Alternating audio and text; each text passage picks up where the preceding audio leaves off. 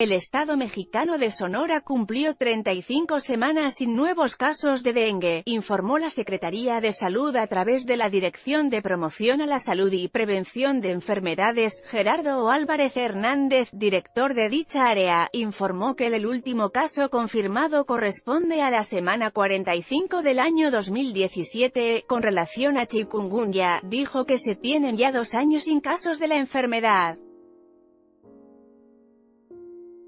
El último se presentó en la semana epidemiológica 26 del 2016, en el país se han reportado nueve casos. En lo que va del 2018, lee también, usarán bacteria para reducir dengue, zika y chikungunya sobre el zika, el funcionario estatal señaló que se cumplen ya siete meses sin confirmación de casos de la enfermedad en el estado, el último, dijo, se presentó en la semana 49 del 2017.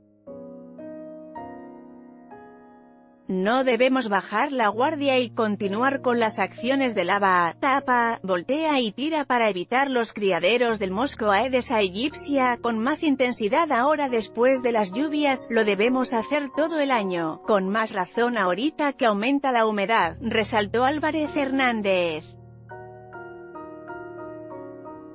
Lee también, llaman a extremar precauciones para evitar enfermedades por mosquitos agregó que para prevenir picaduras por el mosquito se recomienda a la población vestir pantalones y usar ropa que cubra los brazos, en caso de ser necesario, usar repelentes comerciales a base de DIT, que son los autorizados para su venta pública.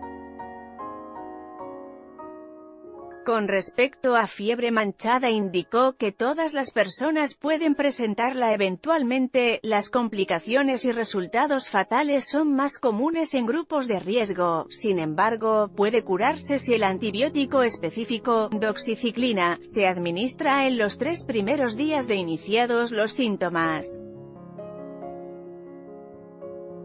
Debe observarse y tomar en cuenta la presencia de fiebre, dolor de cabeza y malestar general, con el antecedente de historia de contacto con garrapatas, refirió, es suficiente para sospechar de la enfermedad, y ante ello es importante acudir al médico.